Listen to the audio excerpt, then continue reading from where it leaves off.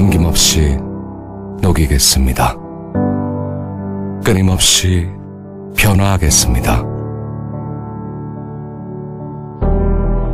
지나온 50년을 넘어 앞으로 100년을 위해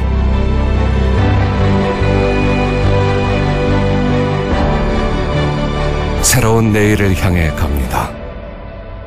포스코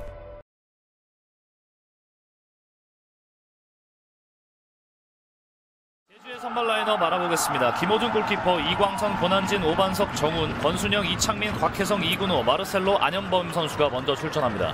이어서 원정팀 전남 드래곤즈의 라인업 살펴보겠습니다. 이호승 골키퍼, 김경재, 이지남, 토미, 한지원, 안용우, 유고비치, 김영욱, 최효진, 배천석, 박기동입니다.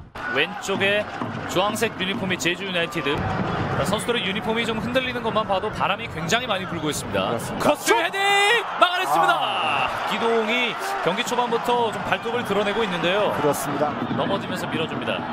어드밴티지가 선언됐고요. 이창민 전진 좋아요. 패스 안쪽으로 빠져나갑니다. 슈팅 막아냈습니다. 다시 슛! 한번 마르셀로 이호승 골키퍼 두 번의 슈퍼 세이브를 보여줬습니다. 저는 킬 패스 상당히 좋아요. 저 선수가 저런 부분이 오른쪽 크로스 높게 뜹니다. 박기동 엉덩이를 갖다 댑니다.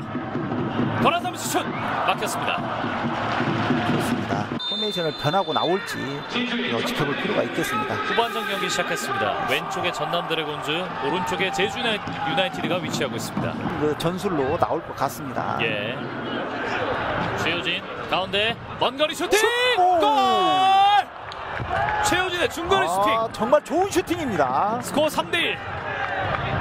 전남 중앙에서 드래곤즈는 갈 길이 바쁘거든요. 그렇습니다. 중앙에서 지금 스트라이커들 미드필더들이 다 막혀 있었기 때문에 네. 아, 정말 슈퍼 골이에요. 예. 그렇습니다. 최효진 빨라요. 앞쪽으로 밀고 들어갑니다. 최효진 다시 한번 멀티골을 노리고 있습니다. 짧게 내주고 슛! 골! 오! 스코어 3대 2. 한 점 차 경기. 지금도 최효진 선수가 거의 80%는 또 해줬습니다. 네. 이게 웬일인가요? 그렇습니다. 또 자일 선수가 또 후반에 들어와서 두 번째 득점을 해주고 있습니다. 스코어 3대 2. 자일 개인기로 벗겨내고 자일 골! 자일도 오늘 멀티골을 기록합니다. 좋은 선수예요.